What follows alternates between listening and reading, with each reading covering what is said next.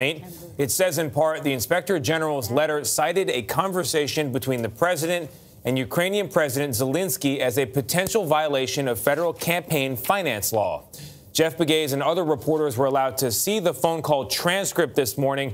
Jeff, this was a July 25th call. It was about 30 minutes in length. What did you see in that transcript? Yeah, we didn't get a lot of time with the transcript. We weren't allowed to take it outside of DOJ, but we took some of the inserts. We took notes. Uh, this was a five page document. And, you know, as you might imagine, it starts out like any other call with a foreign leader would start. There's a congratulations on the election victory. Uh, but President Trump did allude to Europe not doing enough to help Ukraine. But then he seems to veer into the DNC server. He mentioned CrowdStrike, which is a company that investigated the Russian hack of the DNC server. And then from there, he progresses to ask the uh, Ukrainian president about Joe Biden. And let me put this quote up on the screen for you to see. This is what the president said, according to the transcript, which, according to senior DOJ officials, is not verbatim, but this is what they have. Quote The other thing, there's a lot of talk about Biden's son, that Biden stopped the prosecution. And a lot of people want to find out about that. So, whatever you can do with the attorney general would be great. Biden went around bragging that he stopped the prosecution. So if you can look into it, it sounds horrible to me. And so that's one excerpt of something the president said to the president uh, Zelensky, the president of Ukraine. Now, whether that uh, is an example of a quid pro quo. That's obviously what Democrats are going to be looking into. But it is important to mention that DOJ, senior officials here say that their criminal division took a look at this. They don't believe there were any violations of the law. What is alleged here is that there was a violation of campaign finance laws. But according to senior DOJ officials, they just don't see that in this document. But of course, members of Congress will eventually get this document and they will have to decide for themselves. And that's why this is important. Again, it was a five page document. We didn't have a lot of time to look at it, but we did get some quotes. Let me go through another one because what we saw throughout the document is this mention of Rudy Giuliani, the president's personal attorney, as well as Attorney General William Barr. And that was surprising because we knew that uh, Rudy Giuliani would be mentioned in this document, but we did not not know that the Attorney General would be mentioned. Here's one excerpt. I will have Mr. Giuliani give you a call, and I'm also going to have Attorney General Barr call, and we will get to the bottom of it. So, this is what we have gathered from this document. We're still going through it.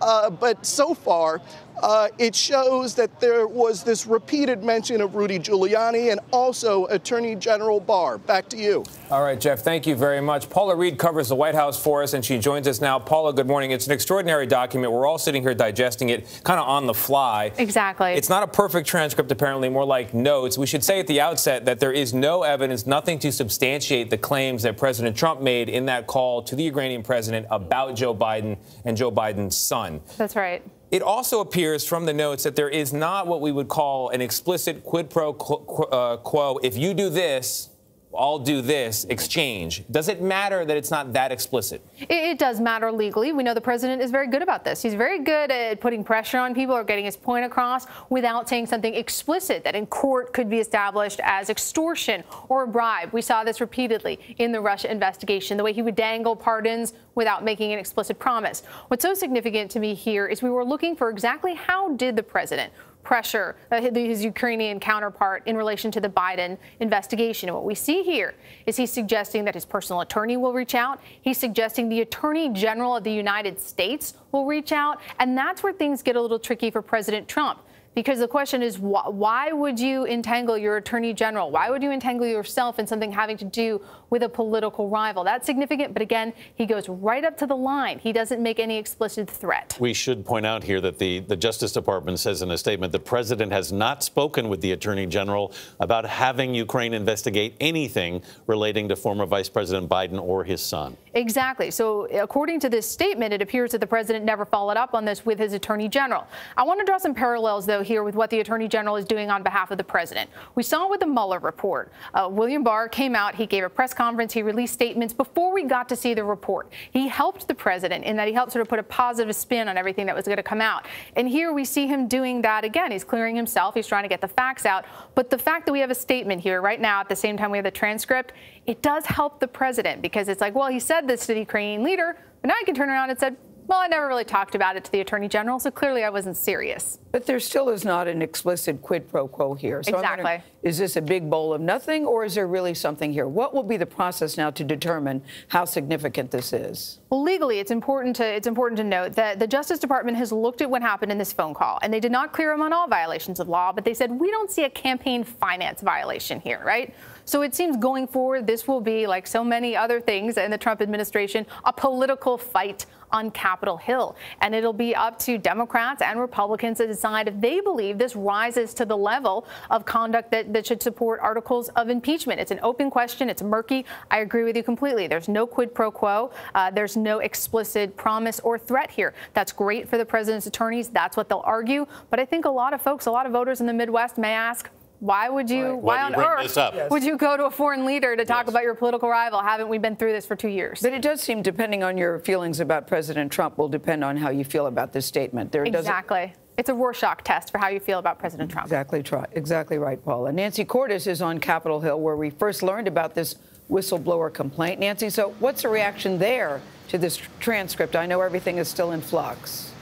Well, I can tell you, Gayle, that even before the transcript came out, Democrats were very skeptical that it was going to be complete, that it would be an exhaustive readout of exactly everything that went down on this call, the exact number of times that the president asked the president of Ukraine to look into the vice president. And so that's why the House Intelligence Chairman Adam Schiff told me this morning, even before the transcript was released, that he still wanted to talk to anyone else who was on that call to make sure that the readout reflects the entire conversation that the president had with Zelensky about Biden. But Democrats also argue, and remember that impeachment is a political process, it's not a legal process. Democrats argue that they already have enough evidence to establish that there was a likely quid pro quo here, even if the president wasn't explicit about that on that phone call. Because if you widen out and look at the timeline here, about a week before the president had that conversation with the new president of Ukraine, his first conversation ever with the new president, he suddenly, unexpectedly withheld about $400 million in military aid to Ukraine. No one outside of his inner circle knew why he was doing it. Even the Senate Majority Leader, Republican Mitch McConnell, was kept in the dark about the reasoning. Then, a week later, while that money is withheld, the president has this conversation with the president of Ukraine, asking him to help him in uh, clearly political ways. And so Democrats say that that shows that the leader of Ukraine knew that his military aid was on the line if he didn't do what the president wanted him to do. Nancy, Congress has heard from the whistleblower's attorney, but are they going to hear from the whistleblower and are they going to get a copy of this report? They are deep in negotiations over that right now, Anthony. The House and Senate Intelligence Committees are hoping to interview this whistleblower as soon as tomorrow and Friday before Congress goes on a two week recess. But they are in negotiations with the Director of National Intelligence. He withheld this whistleblower's complaint because there were concerns that the whistleblower was discussing privileged information. If he was willing to withhold the complaint, why would he then allow the whistleblower himself or herself? To come to Capitol Hill and tell members of Congress everything. Those are the talks that are going on right now. All right, Nancy, thank you. CBS News legal analyst Jonathan Turley is with us from Washington. He's a constitutional law professor at George Washington University and has criticized the push towards impeachment. Jonathan, good morning. Good morning. Uh, Jonathan, you can, you can argue that what the president did is inappropriate. Is it impeachable? It could be. You know, part of the problem with the past impeachment allegations is there were very strong defenses that could be raised. This one would be an impeachable offense if proven. Self-dealing is something that can constitute a form of public corruption, an abuse of office. And so this is the real McCoy. You just have to prove it. The problem is with this transcript is that there's plenty here that helps the president on his defense. Not only are they a quid short of a pro quo, there's no express promise, but um, it also contains his initial discussion, that is President Trump's discussion, about why he wants other countries, European countries, to also put money into the Ukraine. Trump is insisting that he withheld that 400 million to try to put pressure on the Europeans to pony up. So the transcript will help him there. Uh, but there's also you know, material here that will concern Congress and is a legitimate subject of investigation. You know, there could be a quid pro quo. They just need someone that can connect those dots.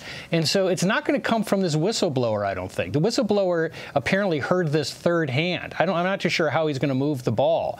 It's more likely to come from someone in the inner circle, including someone like John Bolton, who might have been eh, have access to statements that would support the theory.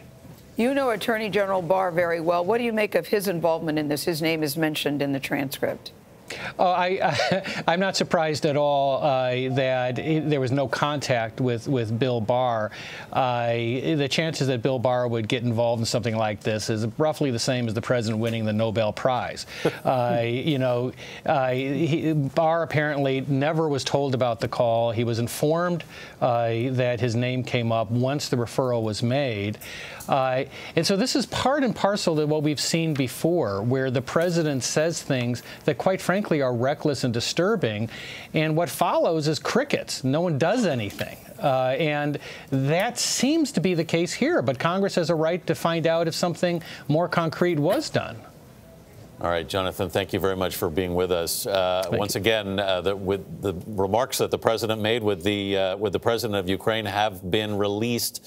Uh, we've got our first read of it. Details still coming out, but there was uh, the president did directly raise the question of investigating uh, Vice President Biden with the president of Ukraine. Our coverage will continue on our 24-hour streaming network, CBSN. You can watch it at cbsnews.com or on our CBS News app. There will be more to come on your local news on this CBS station and tonight on the CBS Evening News. Many of you will return now to CBS This Morning. This has been a CBS News special report.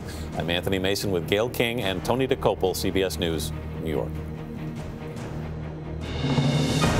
News 24 hours a day, go to CBSNews.com.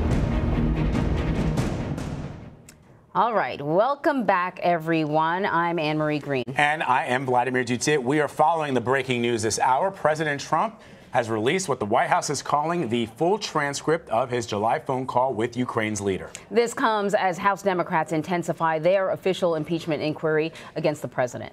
So, for more on this, we want to bring in CBS News intelligence and national security reporter Olivia Gazis. Alongside her is CBS News political correspondent Ed O'Keefe, a CBS News legal uh, analyst Kim Wehle. I'm not sure if we have everyone joins us now from the Washington bureau. I think we're getting everyone we're bit by bit, right? Folks. So, right, but, well, we got Olivia. Yeah, but we got Olivia's Olivia. Here. And we have the transcript of this phone conversation. So we've been sort of feverishly going through it. Um, and it, you know, it does mention what the president says he brought up. Mm -hmm. He brought up um, uh, Joe Biden and Joe Biden's son, and Joe Biden uh, shutting down a prosecutor um, that was looking into his son's activities.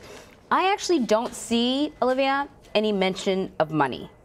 It's true. The, the quid pro quo, as we just heard, is, is absent from the transcript. Mm -hmm. But there are a lot of things that the president, in his style, has brought up uh, in a way that you could see would raise eyebrows. He said, I counted I think, four times that he said he wanted to put uh, the president of Ukraine, his people, directly in touch with the attorney general and with Rudy Giuliani, mm -hmm. the president's personal attorney, mm -hmm. which, you know, to discuss those, those uh, questions involving Biden. Uh, the president also mentions CrowdStrike, the cybersecurity firm uh, that first drew the link between the DNC hack and Russia, uh, kind of a nebulous uh, allusion to some of their involvement there. Yeah. he also mentions um, a former ambassador, Marie Yovanovitch, who was, who was removed from her post after sort of some concern, political concerns about her uh, were raised by conservative media outlets and Mr. Giuliani. So it is a, a uh, very Trumpian conversation in style, in that it's. Uh, you know, it, there's there's allusions to a lot of things without a direct ask. I agree mm-hmm. with you there. And then, then let's bring in uh, Kim Wehle. She's our legal analyst, uh, law professor. Um, she's joining us now, also from Washington D.C. Uh, Kim, I'm guessing you've looked at this uh, transcript, uh, and as it. Okay, stand by, Kim. Let's go to the minority leader, Kevin McCarthy. That they'd be different this time. That they'd work to solve problems. At the same time, I watched Congressman Nadler run for a chairmanship of Judiciary. He promised his conference that he would impeach the president. The Democrats lied to the American public, but Chairman Nadler kept his promise to the Democratic conference. Make no mistake, yesterday was a dark day for America. It was a dark day for the rule of law that the Speaker of the House would claim a president violated the law without ever having any information to judge it on. It was a dark day for national security. That you were willing to jeopardize the national security of our country today and in the future because of your own political bias. Name me one world leader, regardless of who sits in the Oval uh, Thank let's you very much. In, uh, from Kevin McCarthy making a speech there the, on Capitol Hill to take you, you, now to New York City, where the President I'm of the United States. I'm honored to be here today among so many terrific leaders dedicated to the future of democracy, prosperity, and freedom for the people of Venezuela. We are behind you. For this deeply important event, we are grateful to be joined by Secretary Mike Pompeo, Secretary Steve Mnuchin, Secretary Wilbur Ross, and Administrator Mark Green. Thank you all for being here. Thank you very much. I want to extend my profound appreciation to every representative with us from across the Western Hemisphere. Each of you is part of a historic coalition of 55 countries that recognize the legitimate constitutional government of Venezuela.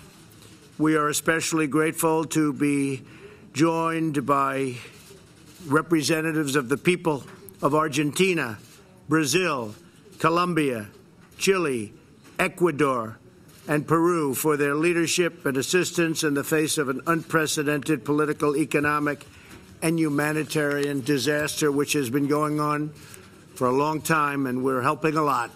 We are helping a lot. Let me also recognize two leaders from the government of Venezuela's legitimate interim government Presidential Commissioner for Foreign Affairs, Julio Borges. Where's Julio? Julio, please stand up, Julio. Great. Thank you very much. Thank you.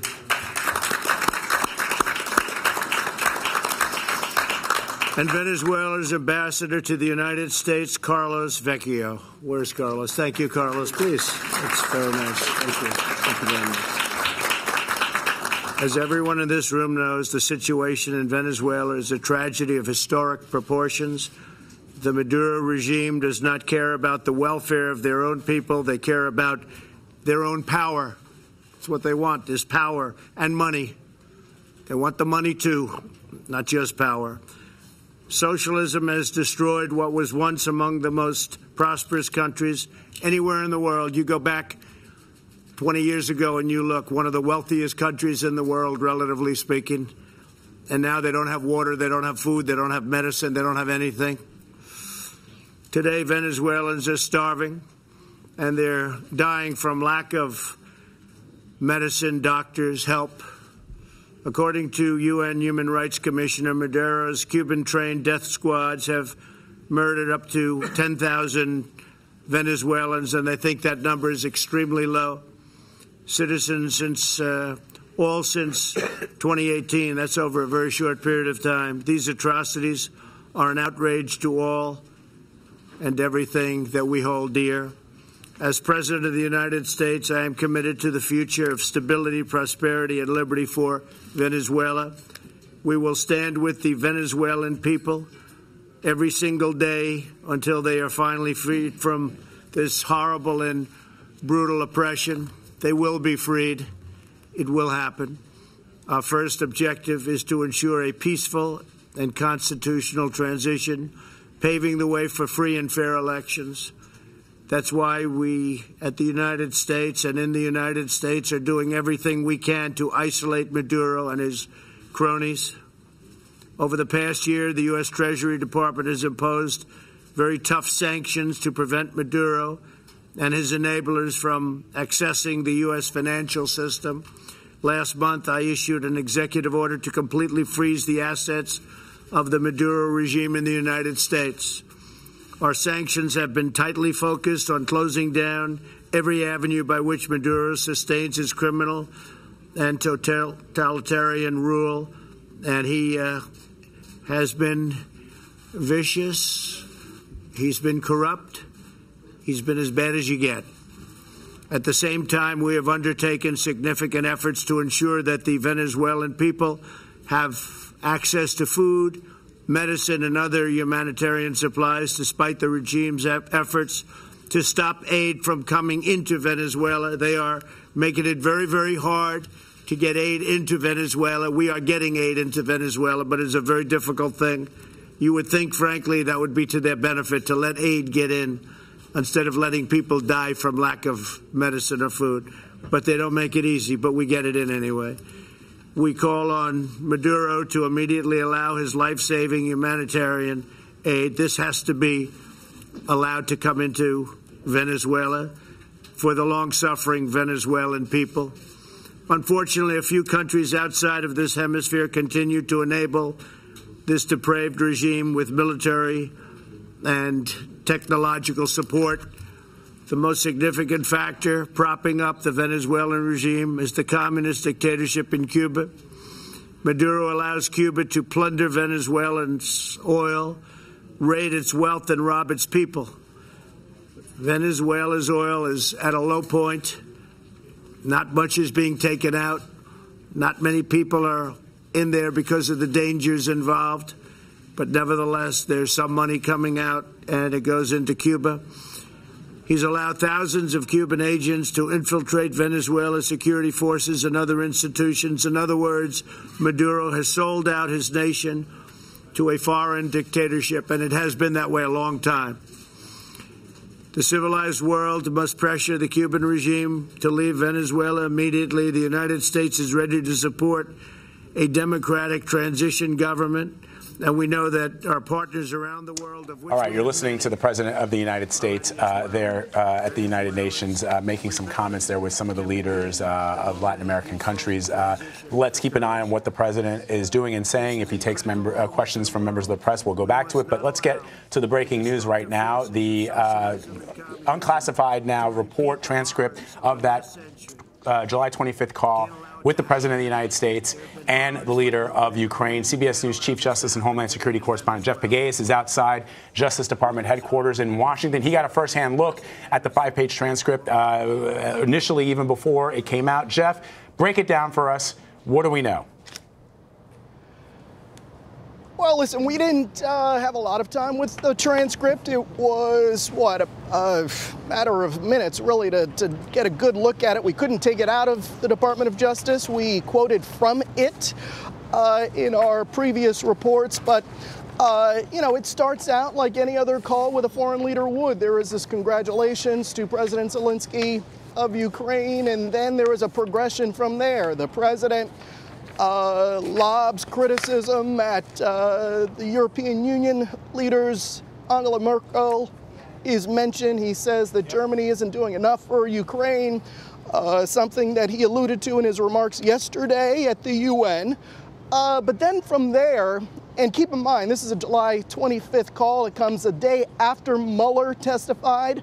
Uh, the special counsel, Robert Mueller, testified before Congress uh, essentially wrapping up the Russia investigation, and the president was critical in the call with Zelensky of Robert Mueller. And from there, there is this mention of Joe Biden and his son and what the president believes is a need to investigate. And so it goes on from there. There are repeated mentions of Rudy Giuliani, the president's personal attorney, and And this is something that really came as a surprise to us was this mention of Attorney General William Barr. We knew that Giuliani would be mentioned in his transcript going into it, but we did not know that the Attorney General was mentioned as well. And in really the same vein, the president was encouraging Zelensky to reach out or to get in contact with both Giuliani and the attorney general. So there are a lot of interesting tidbits in there. Whether there was a, a quid pro quo that depends on you know who you believe, who's looking at it. The Democrats obviously want to look at this transcript. They have their own opinions. But of course, senior DOJ officials tell us that they don't believe there was any violation of any laws here. There was this allegation, uh, in their words, of potential violation of campaign finance laws. They just don't see it in this transcript or in these allegations. All right, and in fact, we've got a statement from at least a senior DOJ official. It says that the AG was not asked by the president to speak with Ukraine, which is the suggestion that he makes over and over again uh, throughout this conversation. Uh, Jeff, I want to thank you. We might be coming back to you, but for now, I want to bring in um, Ed O'Keefe, CBS News political correspondent, and of course, Olivia, you are with us. So, listen, Ed, the thing that keeps jumping out at me about this is yes, you know, much of what the president already sort of agreed to is in here right? He does talk about corruption and his concern about corruption. He does talk about the fact that he's concerned that uh, European nations are not doing their fair share. What I can't understand is why Rudy Giuliani is involved in any of this at all. He's supposed to be the, the not the president, Donald Trump's private right. attorney. Why? Very important distinction. Is he? What would he be doing that would be the people's work if his primary function is to serve as Donald Trump's attorney? Nothing. Right. I mean, what he was doing was Donald Trump, person, his bidding, mm-hmm. um, and, and was essentially deployed to Ukraine and to Europe. We know this already, to, to try to dig up this stuff on the Bidens. Mm-hmm. And, and so the fact now, now you almost have two things. You have a conversation that the president had with another world leader about a political rival and you have the mere fact that the president's personal attorney, not White House counsel, but personal attorney, was over there doing this work yeah. and apparently engaging government officials at the same time who may or may not have been uh, going along with this. Right. Uh, some have raised objections, we know. Others may have been willing participants. There's been reporting on this. Uh, so that adds another layer to this, as if we need another one. Uh, but, you know, it's a reminder that Giuliani has been uh, deeply involved in a lot of what the president has been up to yeah. over the past two years, um, and clearly was deployed uh, to try to dig up dirt on potential opponents. And I think when you hear from the DOJ that the attorney general was not asked according to the DOJ, to get involved in any of this. That's what they're saying so far this that's morning. That's what they're saying so far this morning. So at least the snapshot that we have now is it's really just Rudy Giuliani who's going over to the Ukraine. But though it seems odd, is it illegal? Well, that's why we have uh, Kim Wehle, uh, who's joining us from our uh, DC bureau to talk uh, about all of this. Um, it's interesting to me, Kim, that you're hearing now, uh, as as we've pointed out earlier, that a lot of these documents, at least until we get the full whistleblower complaint, were going to be seen through the eyes of the beholder. That it was sort of a Rorschach ch- uh, test, as you pointed out, Anne-Marie, earlier. Um, I want to read from the transcript the one note that jumped out at me of what the president said to President Zelensky. He says, "quote The other thing, there's a lot of talk about Biden's son. That Biden stopped the prosecution, and a lot of people want to find out." about that. So whatever you can do with the attorney general would be great. Biden went around bragging that he stopped the prosecution. So if you can look into it, it sounds horrible to me. Uh, my question is, given the, the, the whiff of impeachment, the threat of impeachment that brought down the Nixon presidency, um, the bar here seems to be, look, the president didn't explicitly ask uh, Zelensky in this transcript to uh, do something to help him get reelected. But just the idea to me, I'm, I'm curious from a legal standpoint, that a president of the United States would ask a foreign head of state to look into the allegations of his main political rival, the one that in all the polls up until this point showed beating President Trump in 2020. Is that not something? Yeah, I mean, this is actually, in, in a way, easier for the American public to understand because we are not into legal standards and technicalities like we would be in a criminal courtroom. The impeachment process is a political judgment. The law is not limiting there. there you do not need to prove a crime beyond, beyond a reasonable doubt. And the question here isn't really whether there was a quid, pro quo, that would make it worse. But as you point out, the issue is whether we're comfortable as a society having a president or the office of the president be able to use the power in, and influence of the office, even if there's not a direct quid pro quo, it's a very important position on the planet, right? To basically get a foreign power to maybe dig up, whether it's accurate or not, information on political rivals and their children. That is, I think, as a matter of logic, something that is deeply, deeply troubling that because the, the idea is the next day it could be you or me. If the presidency has that kind of power to basically use the office to in, enhance and entrench his own power potentially, even if it doesn't violate a law, that is really concerning for the overall structure of the separation of powers, which is, I think, why um, we're even hearing some Republicans not necessarily rush to Trump's defense here. We're hearing Democrats say, you know what, if I don't make it the next Sorry. round, if I'm voted out, that's okay, because I'm here for the institution, not for myself. And I think that's the right lens for all of us in this moment. Um, I want to keep talking to you about that because what I like about you, Kim, is that you sort of like ele elevate us to our sort of higher ideals about what this is all about. But I also want to bring in um, Nancy Cordes, uh, chief uh, congressional correspondent. Nancy, the Democrats wasted pretty much no time issuing a statement. Um, what's their take on this? Well, their take is that, first of all, they have uh, serious questions about whether this transcript is complete. Uh, they say what they've seen so far is damning enough, but uh, they want to be reassured that there wasn't more that was discussed here that was left out of the transcript. And so the House Intelligence Chairman, Adam Schiff, for example, told me this morning he wants to speak to officials who were on that call and get assurances from them that the readout reflects the entire conversation. But beyond that, uh, Democrats argue that what they've seen is enough to convince many of them that the president has com has um, committed an impeachable offense. They say, first of all, he asked a foreign power to manufacture evidence against his political opponent, and at the same time, he withheld aid to Ukraine that Congress had appropriated. They say there doesn't have to be an explicit quid pro quo in that conversation to make what the president did wrong. In fact, they argue even if he hadn't withheld the military aid at all, even if that wasn't hanging over the president of Ukraine during that conversation, they say that it was still well uh, outside of the, the bounds of the presidency for Mr. Trump to ask a foreign power to assist him in the U.S. election. And so uh, Democrats say that um, what they had known even before they saw this transcript was serious. They think it's even more serious now. And Speaker Pelosi has said more than once, Anne Marie and Vlad, that she wants the party and the House more broadly to work very expeditiously. Democrats don't necessarily want this dragging on for a year. In fact, some of them have told me they think that uh, the House could produce articles of impeachment within the month if, um, if, if minds are focused on this. Hmm.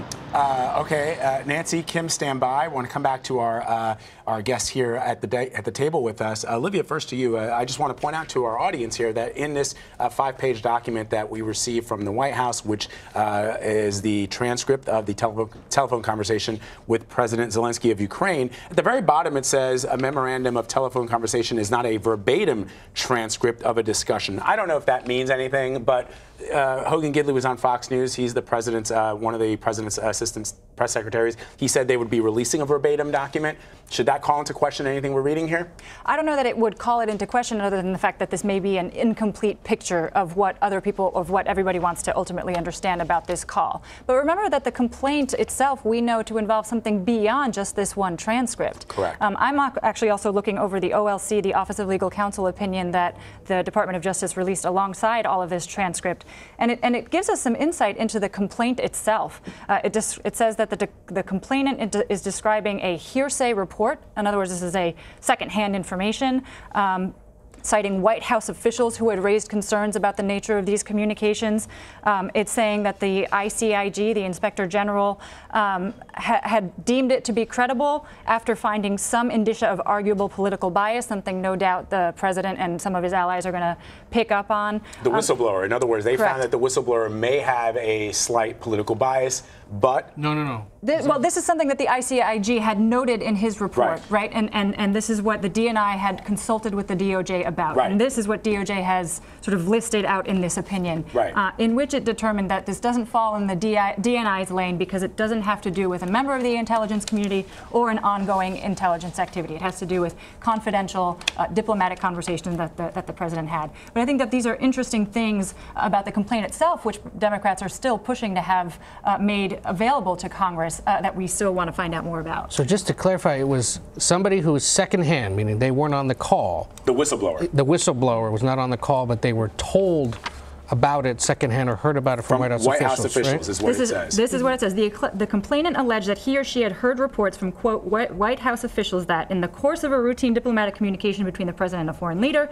the president had made statements that the complainant viewed as seeking to pressure that leader to take an official action to help the president's 2020 reelection campaign. And then the watchdog figured out that this that this whistleblower, using all the right words here, had a potential political bias. It says its its preliminary preliminary review found some indicia of an arguable political bias. So let's not overstate that. Okay. Uh, but the ICIG nevertheless concluded that the complaint's allegations nonetheless appeared credible. So, so Ed, the question becomes now for members of Congress, and, and you know, as you know, Mitt Romney yesterday uh, said that perhaps the Democrats may have gotten ahead of their skis. Uh, there's going to be some who are going to suggest that, that look, they hadn't even seen this, Right. and because of, you know, what the president's supporters have said, look, uh, they've been after this president since uh, the election, um, that maybe Mitt Romney was onto something. But as you hear from your interview with Adam Schiff, they don't think so. They don't, uh, because they they just the fact that the president said what he said, admitting to this, they believe now is an impeachable enough offense or worthy of impeachment. Um, but now reading the details, you know, this does suggest that this wasn't. You know, a principal uh, wasn't a top senior aide to the president. It may have been somebody who heard it secondhand. The uh, inference here that this might be somebody with a political bias, I'd love to know more about that. Is that somebody and the president like- has been he Right. had been saying that all week long. that could mean that this is somebody who's worked in government since the Obama administration. It could be somebody who was a holdover from the administration. Could be somebody who maybe is known among members of the president's inner circle to be someone who's been critical of the president before. And to put that in there.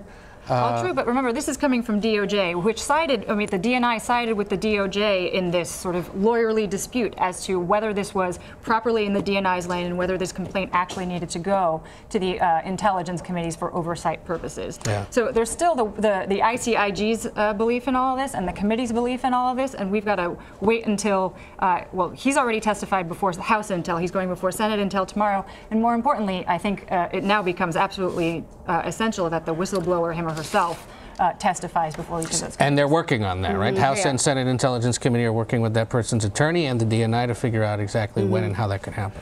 All right, so um, we still got Kim Wehle and Nancy Cordes uh, available to us standing by. Kim, uh, first to you. Um, I think it's interesting that uh, per senior DOJ official, uh, they say this uh, the AG has not been asked to investigate Biden, and the AG was not asked by the president to speak with Ukraine. Attorney General Barr did not know about the call until weeks later and never spoke to Giuliani about Ukraine the question that I and Anne Marie and I were looking through this transcript, and we're like, why is uh, Rudy Giuliani, the president's personal attorney, on these sort of missions to other countries uh, at the behest of the president? And why is the president saying that the AG and Rudy are going to be involved in this? And now the AG is saying, oh, I had nothing to do with anything. I didn't even know that the president had this call. The, the per, Rudy Giuliani is the president's personal attorney, not the attorney for the presidency, but for Donald J. Trump.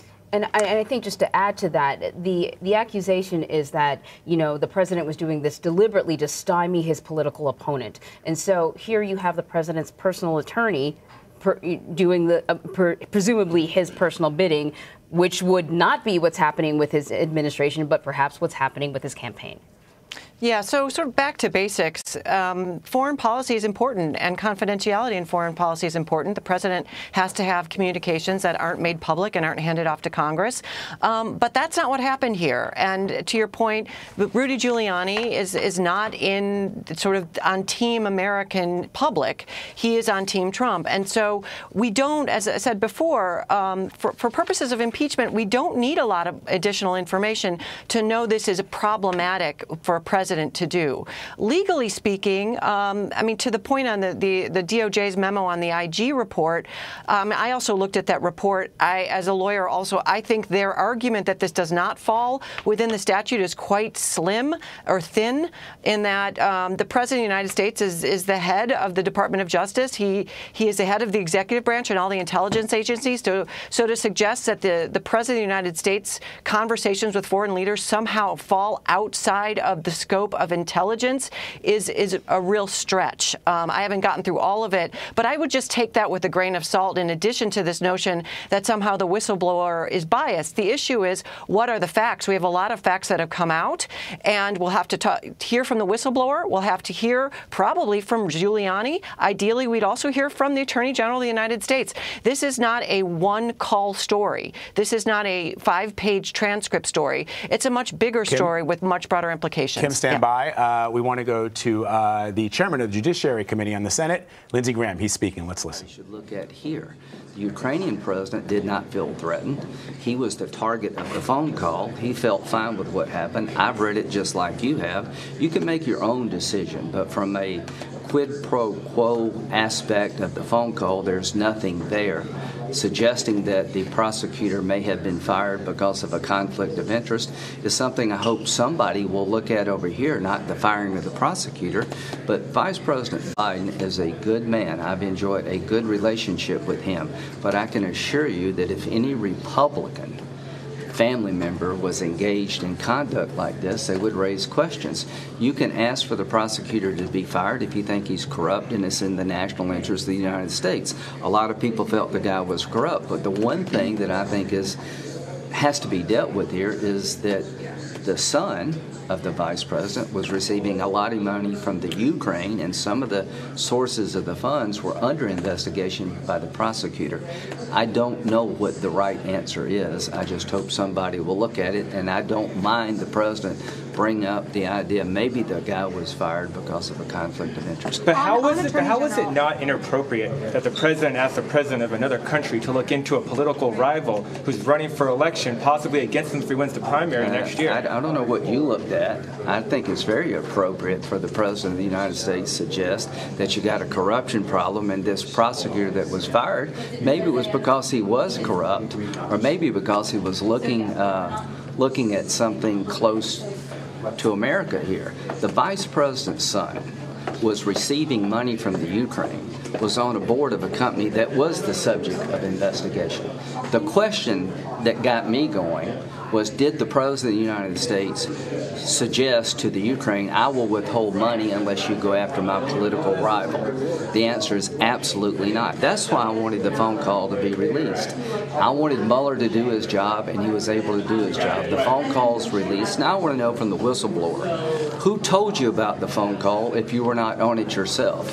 Who is it in the system that went to this person? Why did they pick this person to tell about a phone call? And why did the whistleblower file a complaint about something they had no direct knowledge of? Do you want the Senate Judiciary Committee to be involved at all in undercovering uh, the, the Senate sent it all to the Intel Committee. Okay. So Democrats have um, asked you to bring in Attorney General Bill Barr to ask him about all of this yeah. and the whistleblower complaint mm-hmm. and the whole process behind the scenes. Will you invite him to I, testify? I, it's my understanding that the case has been referred to the Intel Committee, but I will look at what happened here. I mean, before I knew what was in the phone call, I said, it's a privilege matter clearly but the aura around the phone call was disturbing. Did the President of the United States take money that was going to the Ukraine and threaten to withhold it if he did not get help in his reelection? The answer is no. Did Joe Biden threaten to withhold money if you don't fire somebody in the Ukraine? Yes. Maybe there's a good reason to do that, but here's the, the elephant in the room. The person you asked to be fired was investigating companies that your son was part of. Now, somebody needs to look at that. I don't care to look at it. Somebody outside of politics. From my point of view, Joe Biden's an honorable, decent guy, but there's an obvious conflict here. And it's okay to talk about an obvious conflict. But many, but many Western allies and uh, people like International Monetary Fund also Well, wanted did a prosecutor did- did- removed. Yeah, did any of them have a family member working in the Ukraine? So it may be justified that this guy was corrupt. I don't know, but I do know this that the person arguing for him to be fired had a conflict of interest. And if you don't see that conflict, you're blind. if you don't see that there's a double standard here when it comes to Trump and everybody else, you're blind. You're willfully blind. If this had been a Republican, you would be asking what relationship did your son's involvement in the Ukraine have to your decision to call for the guy to be fired? Did the New York Times tip off the vice president? There's an investigation that involves companies that your son may be part of. I'm not accusing them of anything, but there is plenty of conflict here that somebody should look at. The whistleblower's complaint, though, according to reporting, is not just about this one phone call. So when you say Get right it all now, out. Get it all out. What did you know?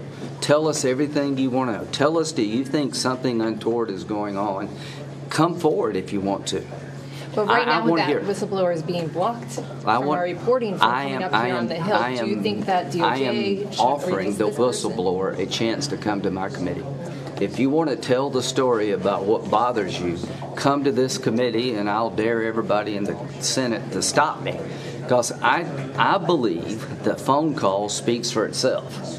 The accusation leveled by certain people before they read the phone call has fallen flat on its face. They, they, they started impeachment based on a phone call they knew nothing about. Now the phone call's out. If this is going to result in impeachment of a president, God help future presidents. This is ridiculous. But as for the whistleblower, are there more? Is there, is there more there? Come forward. I am not afraid of hearing from you. You know, if President Trump did something wrong, let's find out about it. The phone call, to me, was nothing wrong. Do you think that the administration should let the whistleblower I, testify? you know, I, I'm just making an offer. I don't think they can stop it. right now they seem to be doing that. Yeah, I- DNI. I don't think they seem to be doing anything other than being transparent. I don't know what the law is. When we wrote the law about uh, intelligence whistleblowers, they never envisioned a conversation with the president. This is probably the most privileged thing any president could do talk to a foreign leader. Now, going forward, foreign leaders are going to be reluctant to talk to our president if you wind up having it in the paper. But this was a unique moment, I thought. This was something that needed to be looked at, and it's being looked at. You've got the transcript of the phone call. You can read it for yourself. I've determined there's nothing there, that this is not remotely an impeachable offense. I have determined there is a conflict with the vice president that somebody needs to look at. I'm not accusing him of doing anything. All right, we're going to take you to the floor of the Senate where uh, Senate Minority Leader. Chuck Schumer is speaking. If each of us acted as a solemn juror of democracy who placed fidelity to the Constitution and our system of government above the narrow considerations of partisan politics. Now, on another issue, not directly related, but with the same cause, with the same worry, with the same concern, an overreaching executive, the emergency declaration. The commencing of the impeachment inquiry in the House, while significant, is not the only significant action Congress will take today, nor is it the only action dealing with the president's overreach. Today, the Senate will vote on President Trump's national emergency declaration, which he is using to steal money from our military in order to fund a border wall.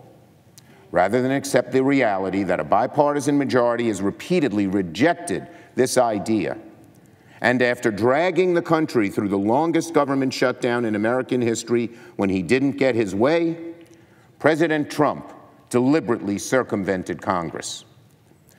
Democrats universally opposed the president's outrageous decision to declare a national emergency. So let me direct my remarks this morning to my Republican colleagues. There are two crucial reason, reasons for my Republican colleagues to vote to terminate this emergency. First, the vote today is the surest and likely the only way to restore funding the President has stolen from our troops and military projects across the country. President Trump promised Mexico would pay for the wall, not American taxpayers, and certainly not the military, the men and women and their families involved in keeping our nation secure. President Trump broke that promise, and now with us and like it's a political war. They shouldn't have done that. Uh, that should be an impeachable event, I guess, based on what you're saying. Uh, the Democrats just came out. They went down there, a group of people, some of whom I was dealing with on the gun issue, and they went down, put tremendous pressure on Ukraine. Uh, the president himself just came out with a statement saying there was absolutely no pressure put on him, and there wasn't.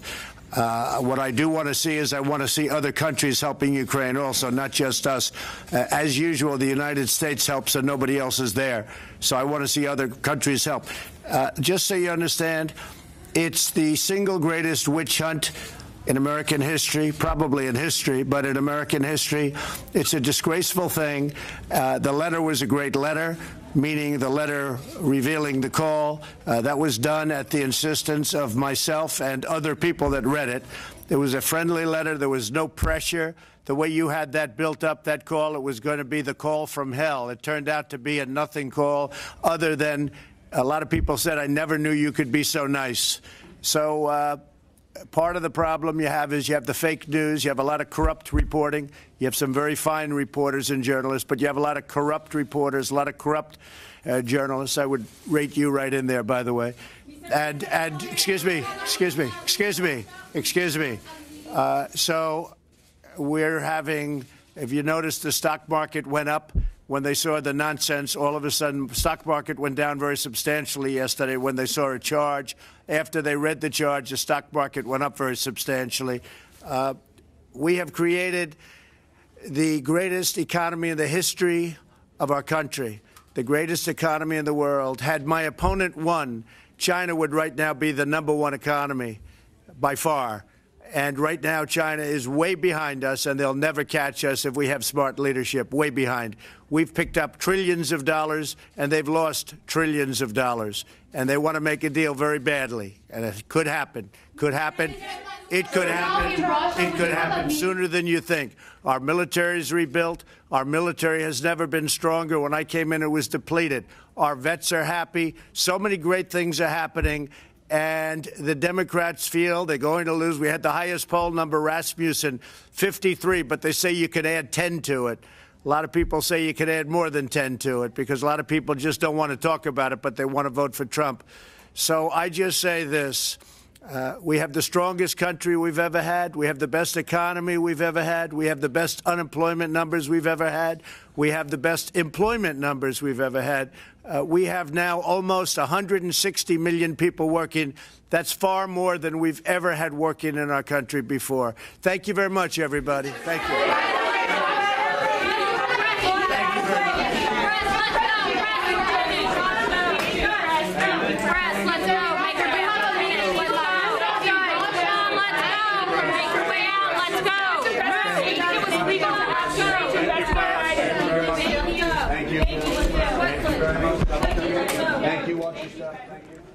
hearing All from right. the president and Yeah. reinforcing what we heard from him before, um, the key for him is that the president of Ukraine did not feel any pressure at all. Right. So, thus, I guess, suggesting that there was no quid pro quo. The president saying that, uh, as usual, he's the target of a witch hunt. Um, and you just heard uh, Senator Lindsey Graham speaking to reporters uh, before we went to the president, saying that, as far as he can tell, be, based on his reading of this now transcript of this phone call between the president and the leader of Ukraine, that there is nothing that troubles him.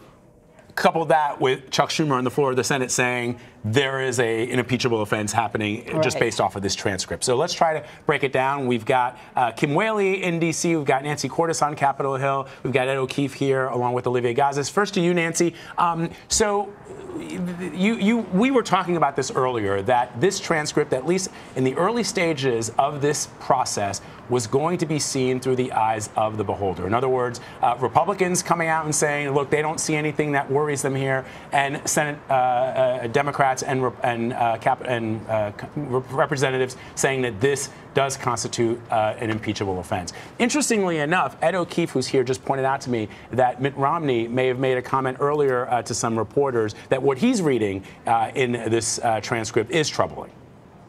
Sure, and I think that there are more Republicans who find it troubling who uh, have chosen not to say anything for that very reason. Yes, you do have some very vigorous defenders of the president, like Lindsey Graham, who we heard from just a few minutes ago, who said that he saw nothing in this call uh, that was problematic because the president of Ukraine has said that he didn't have any concerns about it. Well, a couple things uh, in reference to that claim. First of all, um, this is a president, the president of Ukraine, who is highly dependent on the U.S. for political help and for financial help. So it is not in his interest to say that he felt pressured, badgered, bullied, what have you, by the President of the United States. Beyond that, we know that when he met with Senator Chris Murphy of Connecticut in Ukraine just a few weeks ago, he said something quite different in a private conversation. He told Murphy that actually he was very worried about the fact that this military aid, $400 million worth, was uh, mysteriously being held up, and that, that at the same time he was very concerned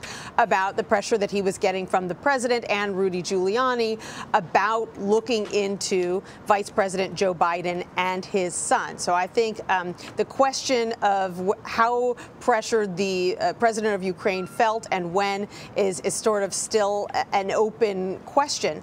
Um, and the reality is that, yes, this is going to be to some degree.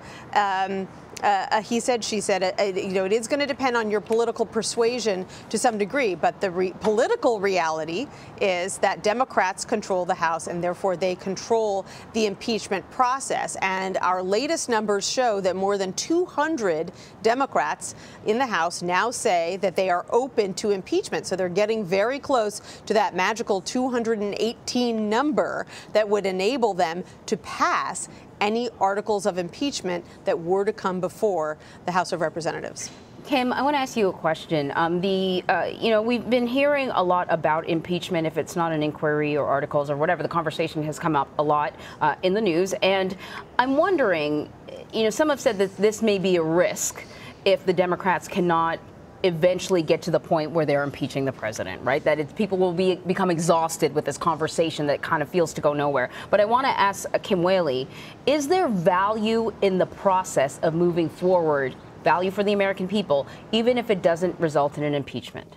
Absolutely, no question. I mean, so impeachment is just the actual indictment, so to speak, in the House of Representatives. It's the list of potential reasons to remove a president, and then that list goes to the Senate, and the Senate would actually hold a trial presided over by the Chief Justice of the United States.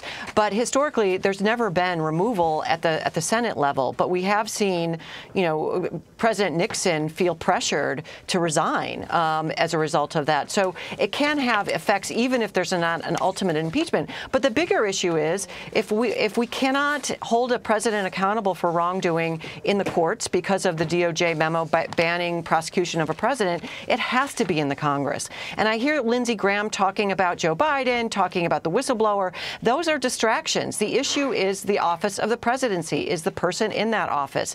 That person's conduct and whether that person's conduct warrants politically a different person in office. We're not talking about putting putting someone in jail. We're talking about is this the kind of person that's safe to lead this country for a number of reasons?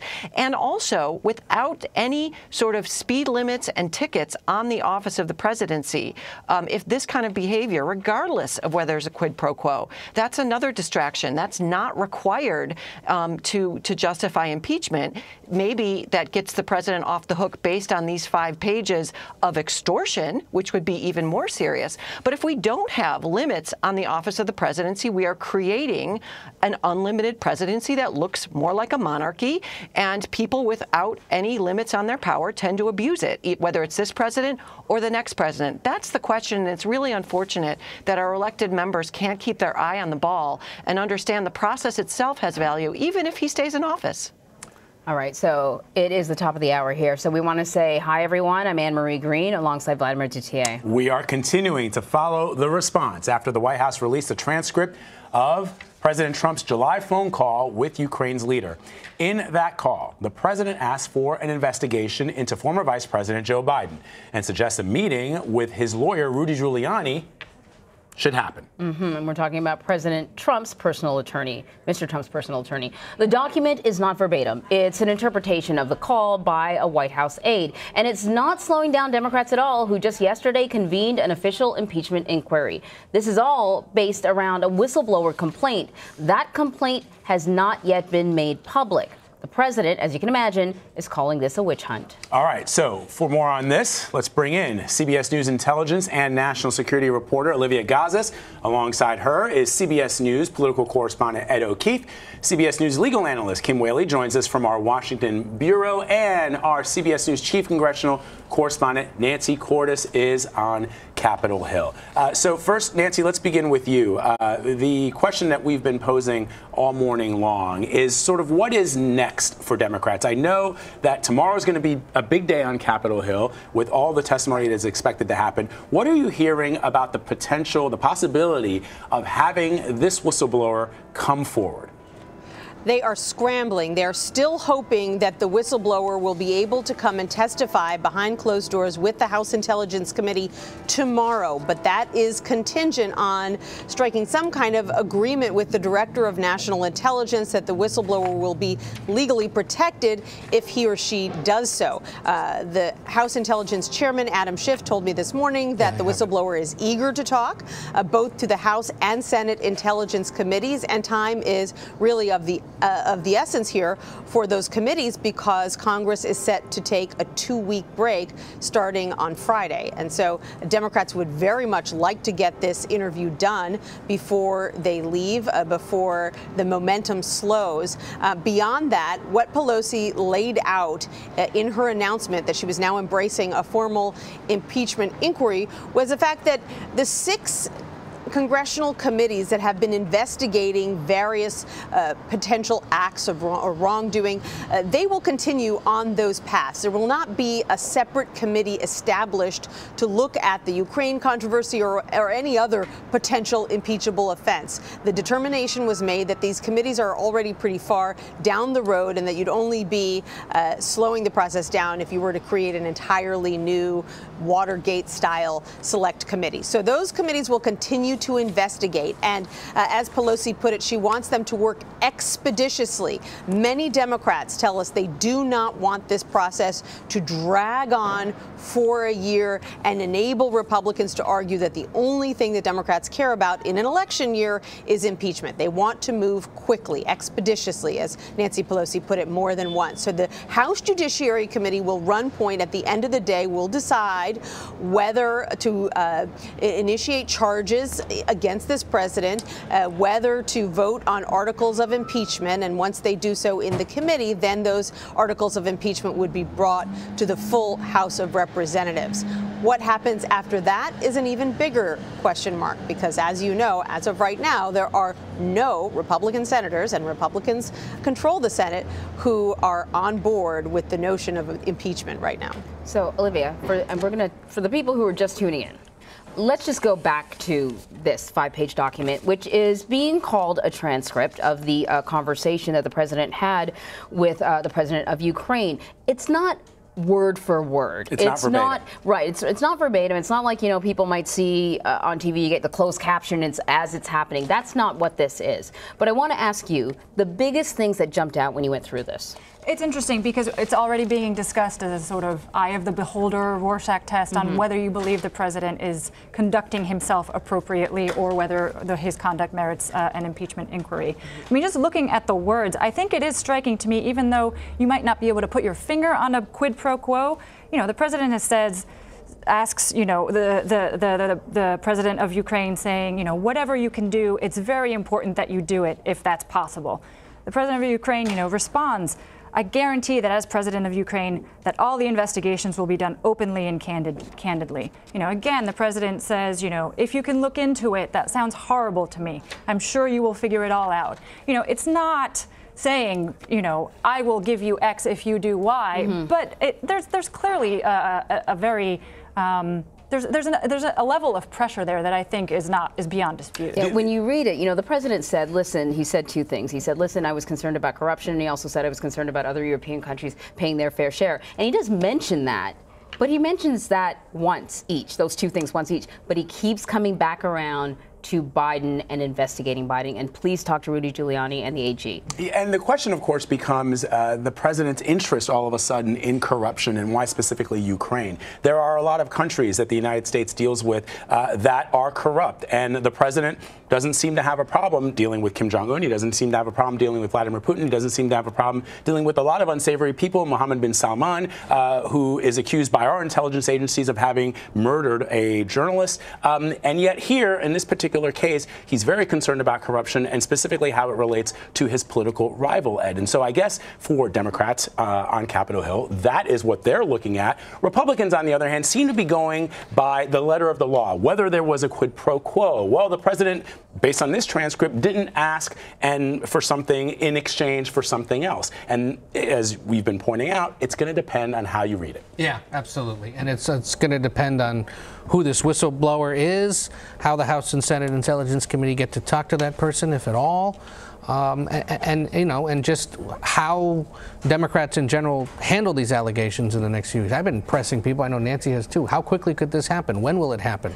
You have a two-week recess that starts at the end of the week, primarily because of the upcoming Jewish holidays that they're they're trying to account for that. Um, one aide I talked to last night said this is a great opportunity for members to go home and explain the gravity of the situation to constituents and build support in their districts for this and build awareness of it. Uh, but I said, doesn't this also potentially leave open the opportunity for this to just sort of fester and go away and for people to forget about it? And he said, sure. But this time, given how many Democrats now are on board with this, they're going to have to go home and talk about this, explain it, defend it, and, and see if, uh, if support builds up. But, um, you know, it, it's telling. And we, we also know, remember now, that the president and the speaker spoke yesterday, that he seemed to be trying to ward this off, and that they were somewhat shocked, the president was, that she did what she did last night by saying, we're not going to do this. Um, it's been released. Uh, this, this shows you how quickly all of this has transpired and how grave many lawmakers thought it was and how grave potentially the White House thought it was, that they thought they should just put it out there and allow people to interpret it. But what you're hearing the president and his supporters now do is say, okay, here's all the information from the president on Ukraine. Now let's go ask Joe Biden what he and his son were up to in Ukraine. This mm. morning, the head of the Republican National Committee saying perhaps Vice President Biden should release the transcripts of all his conversations with the Ukrainian leaders when he was vice president. I'm just going to pipe up to say that again that the call is just one part of the whistleblower right. complaint. We understand that there there may be more, uh, which is why I think it becomes essential for the whistleblower, him or herself, uh, to be made available to the committees and to sort of give more of the story as to what else might have been happening that was of concern. We've got uh, Nancy Cordes and Kim Wehle uh, in D.C. Nancy, over to you before you run. Uh, what are you hearing? I mean, we we just heard from Lindsey Graham. We heard uh, from Chuck Schumer. But I'm curious uh, what some Senate Republicans are saying, or perhaps not saying. I know that Lindsey Graham yesterday seemed to distance uh, himself from all of what was happening uh, on the Hill. Right. Well, I'm just looking at my uh, phone for a second because our producer, Alan He, was able to catch up with Mitt Romney, uh, the senator from Utah. As you know, he is one of the Republicans who has been most critical of the president. But at the same time, he said last night that he felt that perhaps Nancy Pelosi had gotten a little out over her skis on the impeachment front. Well, he was saying something different today after reading that transcript. And let me tell you what he said. He said, I did read the transcript. It remains troubling in the extreme. It's deeply troubling. Uh, he says there's a process the that the House is pursuing. The Senate is also looking at the testimony of the whistleblower. So there is an evaluation of gathering more facts. And this is along the lines of what you are hearing from many Democrats as well. They say clear away all the noise, clear away all the politics. What you see in this summary of the phone call is exactly what they expected to see. The president pressuring uh, the leader of a foreign nation to gather dirt about the president's political opponent. The president is not telling the president of Ukraine to crack down on corruption in his country more broadly, as the president initially claimed. The president of the United States is solely asking him to dig up dirt on a political opponent, to investigate his potential 2020 rival. And Democrats say you don't need to know any more than that. You know, Kim, um, I'm I'm reminded of the smoking gun tape uh, during the Watergate crisis, uh, where leading up to that moment, there was investigation after investigation. And on Capitol Hill, they were struggling with what to do. And all of a sudden, the smoking gun tape comes out where Nixon is in the Oval Office with uh, Haldeman. And Nixon barely acknowledges a comment that uh, Haldeman makes about obstruction and, and possible conspiracy. I think he grunts a response.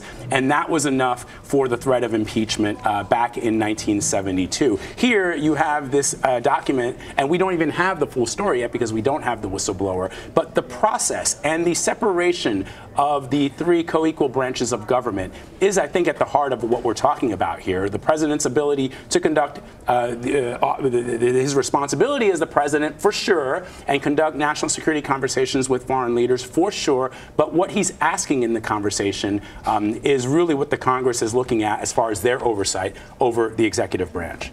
Yeah, and there's a bit of a, I think, smoke and mirrors in making this about, Lindsey Graham making this about the president's ability to have confidential communications with foreign leaders. Uh, the Congress did not ask for the for the actual transcript here, unlike in Watergate, where Congress actually had to fight all the way to the United States Supreme Court to get the tapes. And as you suggested, once the tapes became uh, clear, uh, um, came, came to light, then it was a house of cards. Things quickly fell against Nixon politically. But here we basically have we have the what the whistleblower complaint. We still don't have it.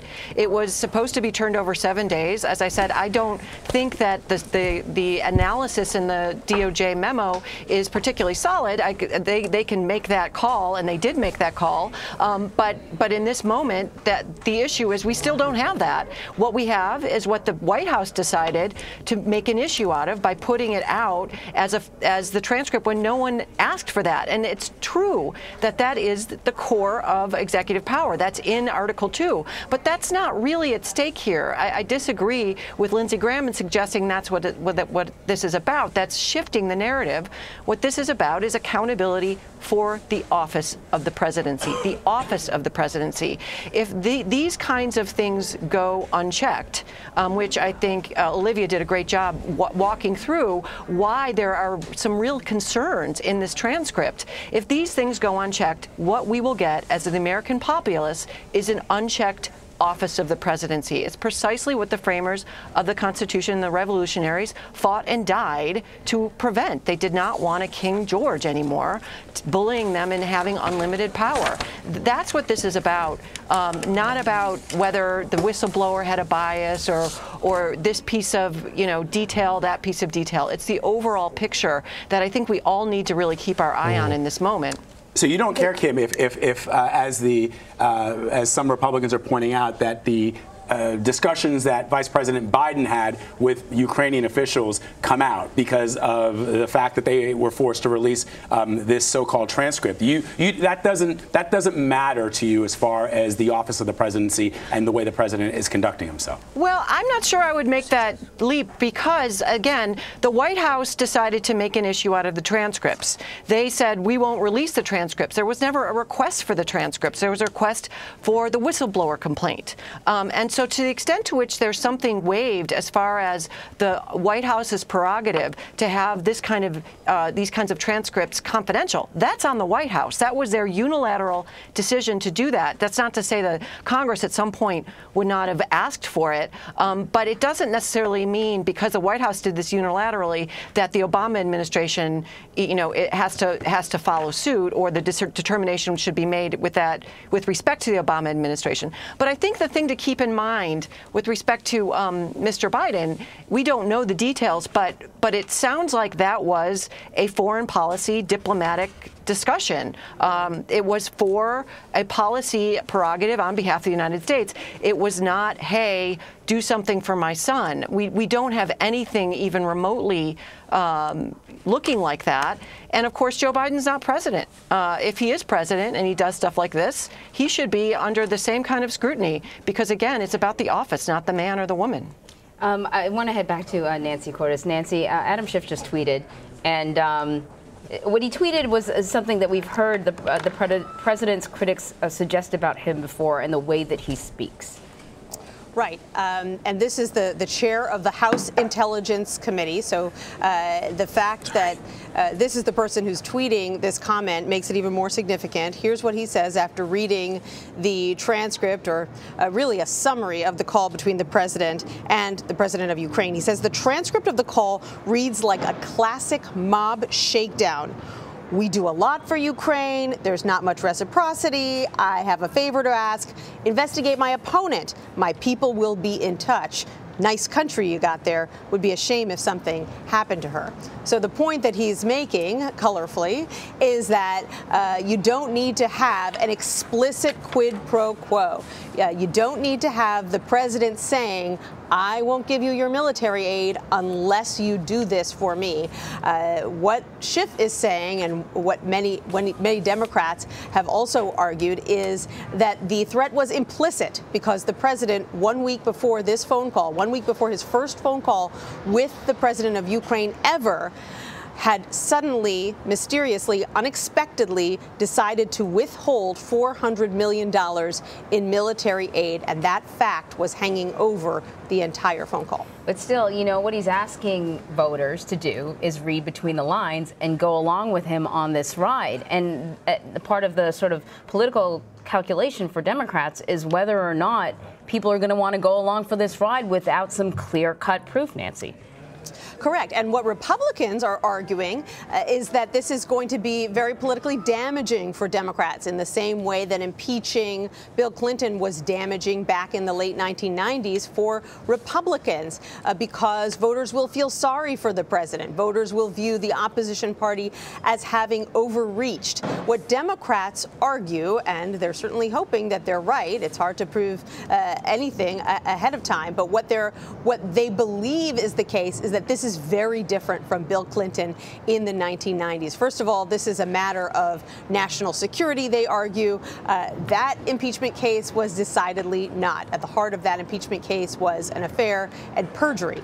Um, furthermore, they argue that President Clinton was a lot more popular back in the late 90s with approval ratings in the 50s, 60s, even 70s at some points than President Trump is now. His approval ratings are quite a bit lower, and they believe that will continue. They believe he has a ceiling of support that he has never been able to get beyond, and they think uh, that is going to be the case now. But that is the reason, and Ed mentioned this a short time ago, uh, that that very tension is the reason that so many of Demo- so many Democrats believe that it would be better to complete these, this process sooner rather than later. They don't want to drag it out, even if there's a possibility that they could get more documentation, more evidence if they waited and worked and went through the courts. They want to get this done and get it over with because they fear that the longer this drags on, the easier it is for Republicans to argue that the only thing that Democrats care about is impeachment. And Nancy, isn't there a debate now about why not just proceed on impeachment on this specific matter and not sure. on all the other ones? Sure. In fact, I had a Democrat argue to me yesterday that they could uh, bring articles of impeachment before the House by the end of the week if wow. they really wanted to. That's how badly yeah. some Democrats, particularly Democrats from swing districts, would like to do this and get it behind them. Uh, the, you know, what, what they really fear is sending a message to independent and Republican voters in their districts, the kind of voters they need to win over a sliver of those voters in order to get reelected. They don't want to send send a message that rather than working on behalf of, of their district or their state, what they're really focused on is trying to find various ways to punish the president. They say, look, even if we impeach him for obstruction of justice because we're not getting our hands on the documents that we want, fine, let's do it and let's move on. And we can put it another way that maybe people understand. This one's a lot easier to digest because we got tapes and we're in the process of getting the receipts. Mm-hmm. That's right. Mm-hmm. And you know, and all the other ones, emoluments, uh, wrongdoing by the family, election interference in 2016, mm-hmm. harder to harder explain. To yeah, harder to explain. The Mueller report didn't deliver what Democrats thought it might. Right. This one's easier, which is why you've seen so many of them uh, suggest that. Why don't you just proceed on this one article? So let's play uh, the president's reaction uh, to the release of this so-called transcript, this memorandum. Uh, he was speaking uh, at the United Nations just moments ago. Let's play that. There's no pressure whatsoever, and if you take a look at the Democrats they went down to see the president of Ukraine and they asked him for all sorts of things and don't go with the Republicans and stay with us and like it's a political war. They shouldn't have done that. Uh, that should be an impeachable event, I guess, based on what you're saying. Uh, the Democrats just came out. They went down there, a group of people, some of whom I was dealing with on the gun issue, and they went down, put tremendous pressure on Ukraine. Uh, the president himself just came out with a statement saying there was absolutely no pressure put on him, and there wasn't. Uh, what I do want to see is I want to see other countries helping Ukraine also, not just us. Uh, as usual, the United States helps and nobody else is there. So I want to see other countries help. Uh, just so you understand, it's the single greatest witch hunt in American history, probably in history, but in American history. It's a disgraceful thing. Uh, the letter was a great letter, meaning the letter revealing the call. Uh, that was done at the insistence of myself and other people that read it. It was a friendly letter. There was no pressure. The way you had that built up, that call, it was going to be the call from hell. It turned out to be a nothing call, other than a lot of people said, I never knew you could be so nice. All right, so we have been. I missed that part Yeah, when I right. first heard it. Um, we've been getting uh, sort of reaction responses uh, from um, lawmakers. We have something from uh, Senator Mitt Romney. I think what's significant is that Nancy Cordes said that he was asked about this before. Yesterday, he said Nancy Pelosi got ahead of her skis. Right. Yesterday. Now this is what he's saying. I did uh, read the transcript. Uh, it remains uh, troubling in the extreme.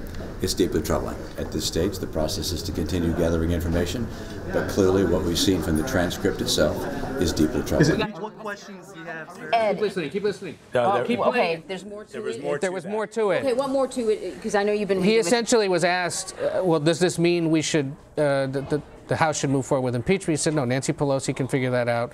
I'm not in the business of giving her advice, but Mhm. obviously the House and the Senate need to, uh, need to uh, continue pursuing what they're doing in the intelligence committees, and then reiterates, but this is deeply, troubling. So what do you take from that, and also the fact Well- that the Senate voted unanimously to get this whistleblower document? Yeah, but that's like voting unanimously to make sure the sun comes up today. and that's kind of what Mitch McConnell said yesterday. Look, we're going to get this. Right. The intelligence committees were already working on it. If you need us to hold this show vote, Democrats, fine, we will.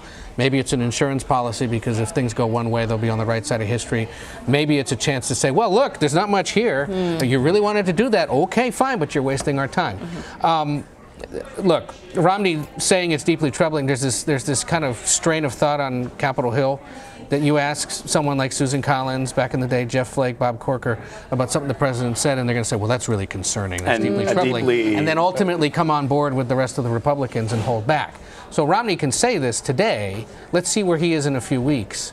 That's the bigger test. But it's a sign that at least some of them now publicly are willing to go out there and say, there's something wrong about what happened here. And remember, senators, given their stature, given their constitutional obligations on foreign policy and other issues like that, are going to be troubled by this. They're supposed to be.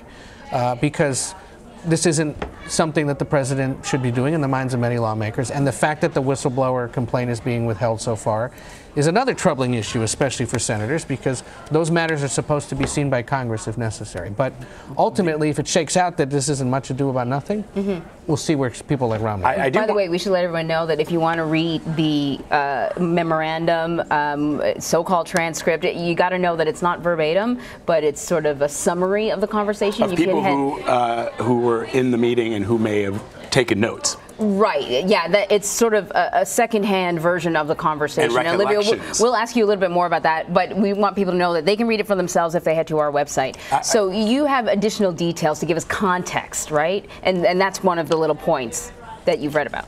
Uh, right. So, alongside the so called transcript that was released today was this OLC opinion, the Office of Legal Counsel from the DOJ, laying out its decision making uh, as to why it didn't determine this to be in the DNI's lane and why the DNI couldn't transmit the entirety of the complaint Yeah. to Congress. It essentially said it doesn't involve somebody within the intelligence community and it doesn't involve um, an, an ongoing intelligence activity. So, that's its sort of legal rationale there.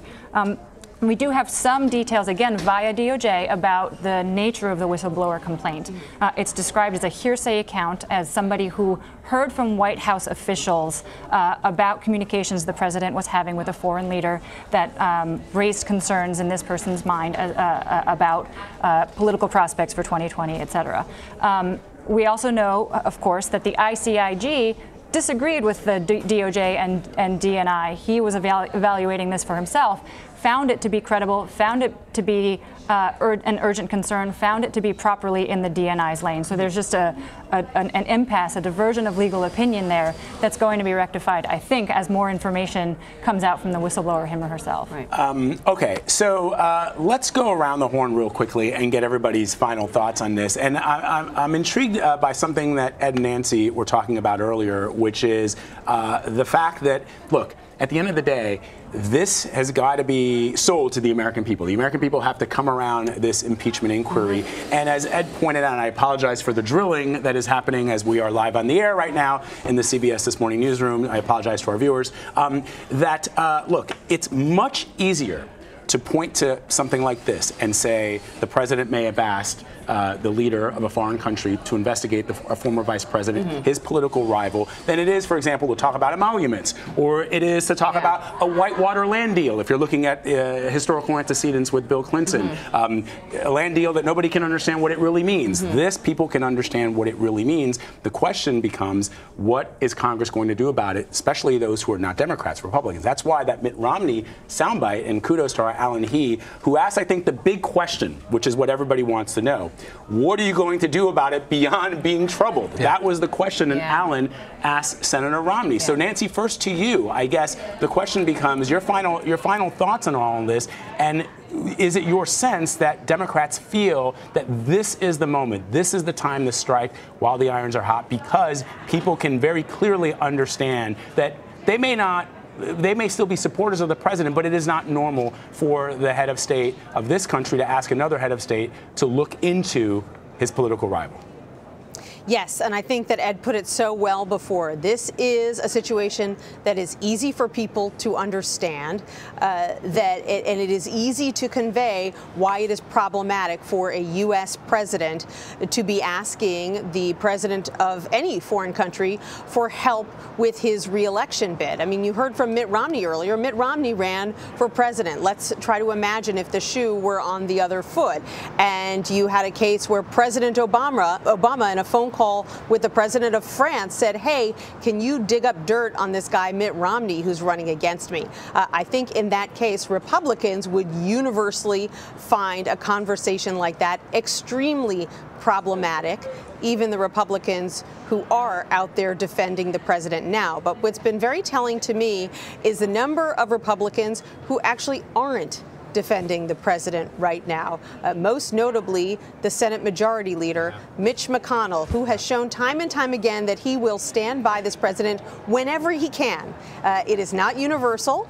There are times where he has scolded gently this president uh, or sought distance. In this case, he has refused to throw the president a lifeline whatsoever. Instead, he turned around and allowed that vote calling for the whistleblower's report to be sent to Congress yesterday. Maybe symbolic, but uh, still it was a sign that he is open to further investigation by the Senate Intelligence Committee. Uh, and as he put it, the Senate is going to get to the bottom of this. Uh, so he is not excusing the president in any way. And furthermore, he's saying that he himself, uh, a top ally of the administration, was left in the dark about why the, the military aid to Ukraine was being withheld, despite his repeated questions about it to the secretaries of state and defense. And Ed, just to sort of add on to that, is it also significant that the AG's office came out very, very quickly and said, you know, the AG didn't have any conversations with the president of Ukraine. In fact, we don't know anything about this. Yeah, it is. Uh, because undoubtedly there will be members of Congress who want to learn more about that, and Barr will have to explain himself or his potential. Also, someone, I mean, that many people, you know, they watched his performance in front of uh, congressional committees, and you know, he's he's Trump's guy. And remember, in fact, uh, Kamala Harris's team tweeted this out earlier today. Back in May, it was. She asked him point blank, have you ever been asked by the president to investigate somebody? And remember, he kind of stumbled through that answer. Mm. They revived that on Twitter, at least today, saying, mm. well, maybe there are questions about this Attorney General after all. Although, as he said, in this specific case, he did not reach out to Ukrainian leaders. Mm-hmm. And, and, and to that, and uh, well, go ahead. Well, no, I mean, just you have in black and white in this, you know, sort of loosely um, uh, uh, documented transcript the president himself four times saying, I'm going to connect you with the attorney general and Rudy Giuliani. Four times. So, what was the follow up there? I mean, Right. did, did he just stop there? Right. I mean, there are going to be questions about what the president may have even solicited the AG to do, whether that was declined. I mean, there, there's more dimension here to just, I'm going to ask him, no, I wasn't asked. Right, and and as we need to, I think, keep pointing out because uh, this this so-called transcript isn't really a transcript. It's a, uh, and I'm just going to read what it says at the very bottom of it. It's not a secret. It says a, memora- a memorandum of a telephone conversation is not a verbatim transcript of a discussion. The text in this document records the notes and recollections of Situation Room duty officers and NSC policy staff assigned to listen and memorialize the conversation in written form as the conversation takes place. A number of factors can affect the accuracy of the record, including poor telecommunications and variations in accent and or interpretation. Um, so you can check out the full uh, memorandum on our website. Um, Kim, I guess the question that I have um, as we have been talking about all of this, and already you're starting to see some Republicans saying, well, you could see there was no quid pro quo, even though Olivia just pointed out the number of instances where the president uh, either talks about Joe Biden or talks about connecting his guy with somebody in Ukraine. This is, I think that in the time that we live in now, people want a smoking gun, but there are no smoking guns in life. There are just a series of things that happen that is left up to our leaders, the people who we've elected to uh, look out after our best interests, to connect the dots for us and to take all of what is out there in the public record and then come to a conclusion based on their investigation. And you know, when you talk about a smoking gun, I think people want to see a crime. They want to when see you the quid pro quo. You're associate it with with uh, with impeachment, right? Right. But but Kim, the truth of the matter is, not all crimes rise to the level of impeachment worthy, um, and you don't need a crime in order to pursue an impeachment. Absolutely, and even crimes. I mean, for those of us who lived through the OJ criminal trial and the bloody footprint, a lot of people thought, you know, even with something that you would think is a smoking gun, good lawyers, good good mental uh, gymnastics can can get people thinking about a, a scenario in a different way. And so the narrative is a critical element right now. Who's going to dominate it? Can the uh, Democrats hang on to the key issue, which is what did the president do, um, and have the the in, additional information, the bigger picture, unfold in a way that's that's thoughtful and and fair, so that the American public can see what what what happened here. Uh, we um, uh, we just received a, uh, Trump campaign statement on the release of what they are calling a phone call transcript, uh, and it's small, so I'm going to try to read it here. But because of their pure hatred for President Trump, desperate Democrats and the salivating media already had determined their mission. Take out the president. The fact is that the president wants to fight the corruption in Washington, where the Bidens, the Clintons, and other career politicians have abused their power for personal gain for decades. The facts prove the president did nothing wrong. This is just another hoax from Democrats and the media contributing to the landslide reelection of President Trump in 2020. That comes from Brad Parscale, the Trump 2020 campaign manager. Salivating is a new descriptor. Uh, yes, it's a new one for, for the press. Uh, um, okay, uh, want to thank very, very much uh, all of our contributors that uh, stood alongside us as we got this news, and including uh, Jeff Pegues, who first received um, an inkling of what was in this memorandum, uh, alongside our CBS News political correspondent Ed O'Keefe, CBS News legal analyst Kim Wehle, who's in our Washington bureau, uh, uh, uh, Nancy Cordes, our chief congressional correspondent there, standing by to take us through all of this, um, and Olivia Gazis. Always great to have you here in New York. Um, it's just so great that you guys were here to help us walk through all of this as you can because see the papers spread out across Spread out. the desk. There's a lot of stuff that we're going through. yes, thank you so much, guys. We appreciate it. So for now, we're going to take a quick break, but we've got a lot of news ahead. You're streaming CBSN.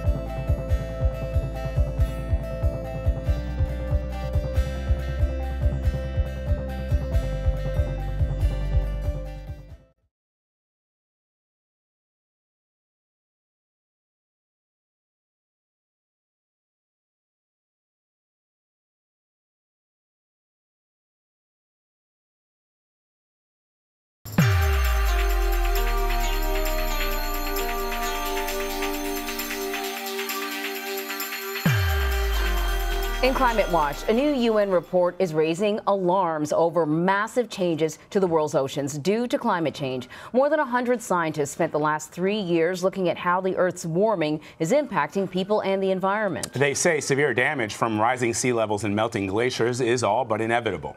Mark Phillips joins us now with more on this from Monaco, where scientists gathered to release the report. Not a bad place to gather, just as a side note, if you're going to get some pretty heavy information. So, what did this report focus on, and how is it different from previous reports that we've seen from uh, the IPCC? This, this report uh, concentrated on the oceans, uh, which is, I suppose, one of the reasons uh, they held the announcement of it uh, here in Monaco, that and the fact that the, Prince Albert wanted it to be here and spent some money for it. And it concentrated as well on what they call the, uh, the cryosphere, which is the Earth's frozen regions, the North Pole, the South Pole, and high mountain tops. And its, its main conclusions were that although these areas have been subject to climate change over, over uh, the decades and centuries, they've reached the point now where they can't take the change anymore and the severe consequences for humanity uh, and for the rest of the world in low-lying coastal regions and people who, who work on the sea and people who even work on the land because there will be effects on drinking water and irrigation water as well. Uh, a lot of those are already in the system. How severe those consequences are will depend on how much carbon dioxide we continue to pump into the atmosphere and the report talks in terms of high uh, emission scenarios and lower emission scenarios. But basically there's